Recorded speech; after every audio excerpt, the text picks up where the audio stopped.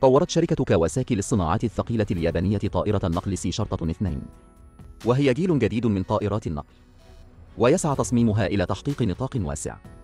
طائرة النقل سي شرطة اثنان طائرة النقل كبيرة طورت شركة كاواساكي للصناعات الثقيلة اليابانية لقوة الدفاع الذاتي للطيران نقطة قامت طائرة النقل سي شرطة اثنان بأول رحلة لها عام 2011 ودخلت الخدمة مع قوات الدفاع الذاتي الجوية عام 2016 هدفها الرئيسي هو استبدال طائرة النقل سي شرطة واحد وطائرة النقل سي شرطة واحد ثلاثة صفر.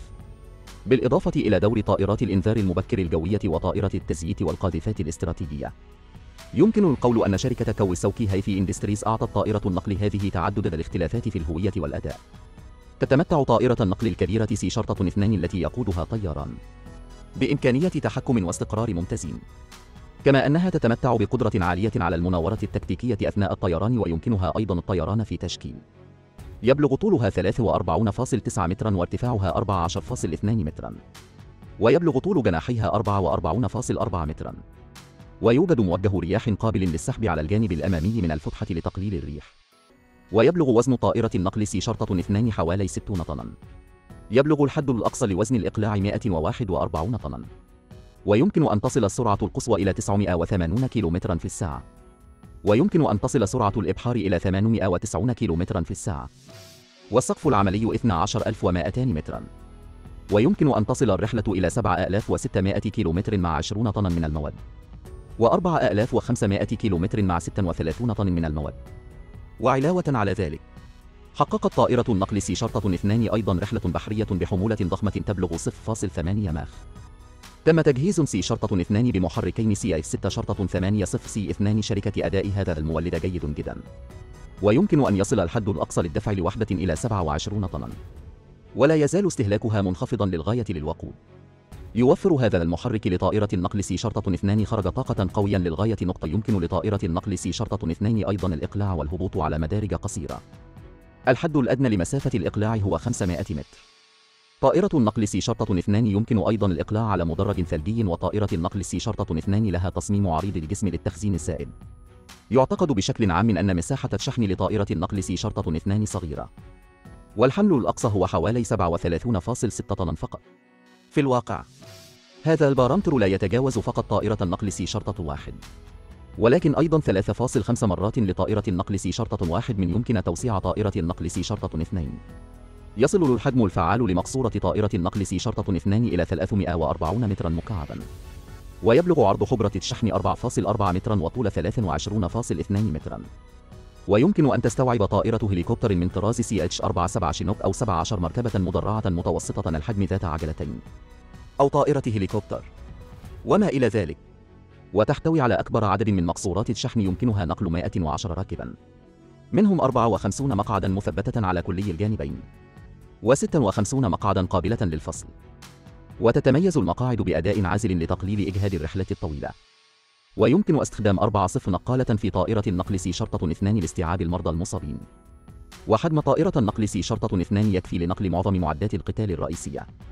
علاوة على ذلك تتبنى حجرة الشحن في طائرة النقل سي شرطة اثنان طريقة التغليف المرنة الشاملة. ويمكن دمج الأرضية بطرق متنوعة. حديثة جدا. يمكن لطائرة النقل سي شرطة اثنان أيضا أن تحمل كمية كبيرة من المعدات الطبية. ولكن يتم وضع صندوق الجناح الرئيسي لطائرة النقل سي شرطة اثنان في عنبر الشحن مما يؤثر بشكل كبير على كفاءة تحميل البضائع. تتجاوز قدرات البحث والتطوير اليابانية للطائرات الكبيرة. لذلك يمكنها فقط استخدام وضع سي شرطة واحد سبع منخفض التقنية لوضع صندوق الجناح الرئيسي في حجرة الشحن. ووفقا لوضع إيه شرطة 400 حاول تقليل سمك صندوق الجناح الرئيسي. على الرغم من ذلك لا يزال هيكل صندوق الجناح الرئيسي في طائرة النقل سي شرطة اثنان يقلل من ارتفاع حجرة الشحن المركزية بمقدار 54 سنتيمترا. وهو أعلى بمقدار 14 سنتيمترا من صندوق الجناح الرئيسي لطائرة النقل أي شرطة 76 التي خدمت قبل 41 عاما من شرطة اثنان على الرغم من أن المسافة بين الطرف السفلي لصندوق الجناح الرئيسي سي شرطة اثنان وأرضية الشحن تبلغ 3.95 مترا. إلا أن هذا يعد إعادة تصميم وزيادة كبيرة في قطر جسم الطائرة. تختلف طائرة النقل سي شرطة اثنان عن طائرات النقل العسكرية النموذجية الكبيرة والمتوسطة الحجم. لا تستخدم سي شرطة اثنان معدات هبوط متعددة العجلات والأعمدة. ولكنها تقوم بتثبيت عمود واحد متعدد للعجلات من نوع العربة الرئيسية معدات الهبوط المستخدمة بشكل شائع في القاذفات والطائرات المدنية. ست إطارات تشترك في عمود واحد وبهذه الطريقة فإن طائرة النقل سي شرطة اثنان لديها متطلبات أعلى فيما يتعلق بسطح المدرج ومن الصعب التكيف مع المطارات الميدانية الرديئة. لكن هذا لا يؤثر على حمولة طائرة النقل سي شرطة اثنين. والمسافة الأطول للرحلة. تمنح طائرة النقل سي شرطة اثنان اليابان القدرة على تسليم سعات محمولين جوا وقوات ومعدات بعيدة المدى. تحتوي طائرة النقل سي شرطة اثنان بالفعل على مقطع عرضي.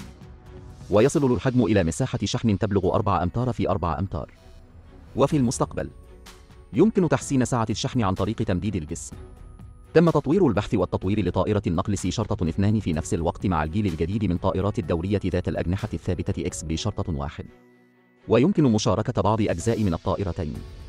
مما يوفر أيضا جزءا من البحث وتكلفة التطوير. والتكلفة الإجمالية للبحث والتطوير حوالي 340 مليار ين. أو حوالي 3.75 مليار دولار أمريكي بدأ مشروع طائرة النقل سي شرطة اثنين في عام 2001 ويمكن تنفيذ أول رحلة تجريبية في عام 2007 كما هو مخطط بعد تجميع جسم الطائرة. تبين أن القوة لم تكن كافية. يمكن تأجيل وقت الرحلة التجريبية.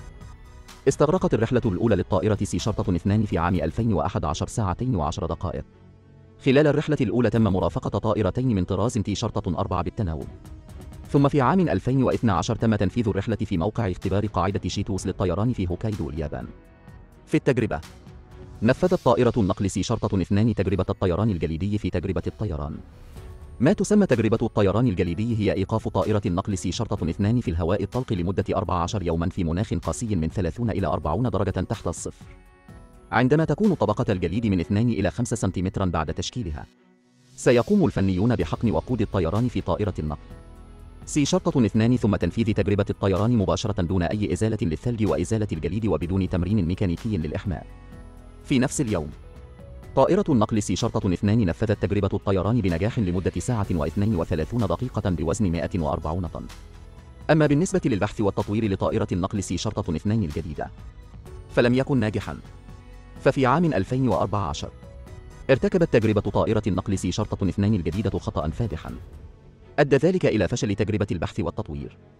أثناء تجربة الطيران بضغط هواء مستقر. عندما رفع المختبر ضغط الهواء الداخلي للنموذج الأولي إلى حوالي 1.2 ضعف الضغط الخارجي تم تشويه باب الحمولة والجسم الخلفي للنموذج الأولي. ومع ذلك فإن البحث والتطوير لطائرة النقل سي شرطة اثنان الجديدة لم يتوقف. بعد كل شيء فإن طائرة النقل سي شرطة اثنان لها الكثير من قيمة التطبيق من حيث مدى مسافات طويلة وتحميل كبير الحجم. طائرة النقل سي شرطة اثنان يمكن أيضا قبول الوقود أثناء الطيران بحيث يكون لها مدى أطول. وهذا الدعم الوثيق للخطوط الأمامية وطائرة النقل التكتيكي هي طائرة نقل عسكرية متعددة الأدوار من حيث الحجم. حجم وخصائص حمولتها مثيرة للإعجاب. كما أن طائرة النقل سي شرطة اثنان لديها نظام إدارة طيران تكتيكي وإسقاط جوي دقيق. والذي يمكنه إنشاء خطة طيران تكتيكية لها وتوجيه خطة الرحلة من خلال شاشة العرض العلوية ويمكن للطيار تسليم سهل ودقيق للإسقاط الجوي على ارتفاعات منخفضة. مع ميزة الأداء هذه أكدت العديد من الدول طائرة النقل سي شرطة اثنان وألقت بأغصان الزيتون إلى اليابان. ولكن تم حظر ذلك من قبل الولايات المتحدة.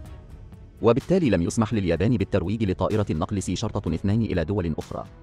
دع الطائرات اليابانية الكبيرة المطورة ذاتيا تبقى في بلدها ولا تسافر إلى الخارج. إذا كان لديك أي أفكار حول هذا فالرجاء ترك رسالة في منطقة التعليقات. إذا كنت لا تزال تريد معرفة المعدات. فيمكنك أيضا ترك تعليقاتك القيمة في منطقة التعليقات. شكرا لك على المشاهدة.